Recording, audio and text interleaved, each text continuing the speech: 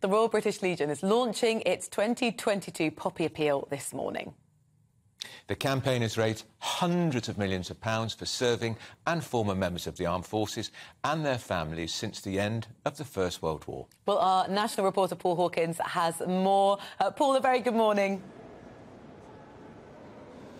Yeah, morning, Rosie. Yeah, the Royal British Legion launching uh, its uh, appeal this year, uh, which will run through until uh, Remembrance Sunday on November the 13th uh, this year. And this is part of the uh, launch today, this huge wall covered in poppies. And these circles representing a story, the story of a family, of, of, someone who's been lost in conflict, and kind of how the Royal British Legion has helped them. And the poppies cover up the story, and then when you take off a poppy, it uncovers the story. So here we have the story of Imogen whose dad uh, was uh, is the uh, regimental corporal major of the Household Cavalry Regiment. So that's kind of how they're launching the Poppy Appeal this year. Let's speak. Let's get more information now from Andy, who's from the uh, Royal British Legion. Andy, really good to talk to you. First of all, just tell us very quickly what what does the Royal British Legion do when we put our money in, in the tin and we take a poppy? Where does it go? Well, we, we help uh, veterans obviously from both world, world wars, but also veterans today, our whole armed forces community, the family members who need our help. And, and it's very poignant this year because we, we've also uh, increased our demand uh, for requests for support because of cost of living. So we're helping veterans in, who are in trouble right now, uh, but also, you know, it also goes on to the, the, historical veterans who've been, who fought in wars.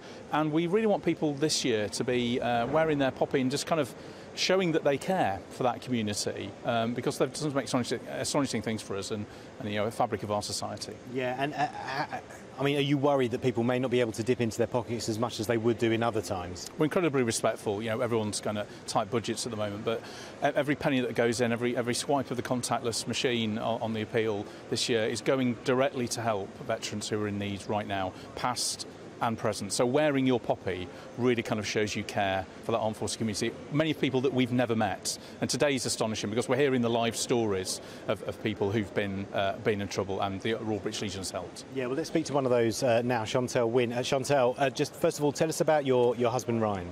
So Ryan was in the TA and he got called up to go to Afghanistan in 2006. Before Ryan went to Afghanistan, he was easygoing, placid, everything just went over his head, family man, enjoyed going out with the family. And then when Ryan come back, he come back in the November, so all the fireworks were going off, so he'd be hiding under tables. He was more jumpy because he felt like he was back on the war zone. After a while, Ryan seemed to hit a brick wall. Um, and he wouldn't go out anywhere. He stopped in the house. Um, we'd go out walking at two, three o'clock in the morning because the walls were closing in on him. Um, and on the 10th of November 2015, Ryan had committed suicide. Me and my eldest daughter, Rosie, found Ryan hanging. I mean, an incredibly difficult time then and, and still for you and your family. Yeah, our world was ripped upside down, didn't know where to turn, hadn't got a clue. So someone mentioned speaking to the Royal British Legion. Me being naive thought the Royal British Legion was for the elder generation and not for us as a younger generation. It's totally wrong. I phoned the British Legion. They come out to me. They was that shoulder to cry on. They helped me fill out forms because of all the forms that you have to fill out. Um, they bought the kids a Christmas present because Ryan died in the November, so they knew that I didn't want to go out Christmas shopping. They bought food hampers for us. They took us on our first holiday just to regroup as a family again and just reconnect. They're yeah. amazing.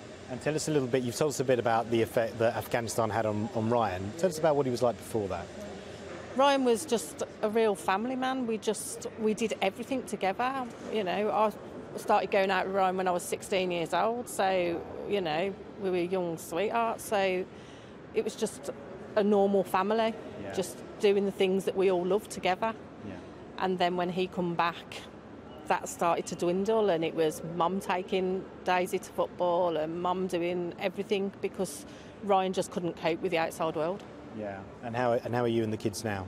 We're really good. We're you know we've got the support from the Royal British Legion um, and family. So we're really good. We got, you know, I didn't, I wanted the kids down that right track and get them on the right road, which the Royal British Legion helped us with. Um, and we've got them on that support. And Rosie's at university, and Daisy's studying A levels. So yeah, yeah, yeah, we're on a good path. And important to remember those who, who served in conflict like Ryan.